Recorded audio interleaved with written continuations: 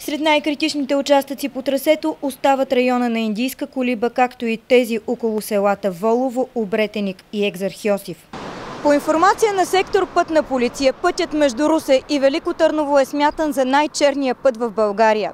Само за година на него са станали 250 тежки катастрофи.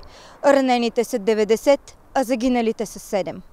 На второ място по брой инциденти се нарежда пътят между Русе и Разград. Там за 12 месеца са станали 71 катастрофи, при които е загинал един човек, а 42 са били ранени. На трето място по пътен травматизъм в региона се нарежда отсечката между Руса и Силистра, където за година са станали 26 инциденти, при които са загинали двама, а ранените са 15. По информация на полицията, най-честата причина за тежките катастрофи в региона остава нарушението на закона за движение по пътищата.